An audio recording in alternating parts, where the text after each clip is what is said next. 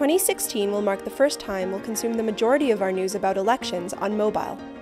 When screens are small, time is limited, and information is complex, data visualizations can be one of the best ways to keep people informed. But not everyone has the ability to gather data or design and code visuals. This is Lenses, an open source toolkit to make it easy for anyone to build sophisticated data visualizations on ideas that matter. One tool, a lot of potential.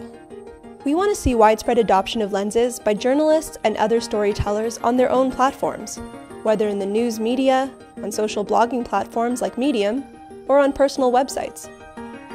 Lenses is being developed through a collaboration between News Corp, the NYU Polytechnic School of Engineering, Columbia Graduate School of Journalism, and NYC Media Lab. My name is Ella, and I'm one of the Columbia students helping to build Lenses. We're testing its functionality with real stories, like how city pesticide use has changed over time, and how campaign funding influences courtroom decisions. Meanwhile, students at NYU are coding components for the toolkit. We believe we can have a working prototype by January 2016, but we need your help. Please visit us on the Knight News Challenge website and tell us what you think.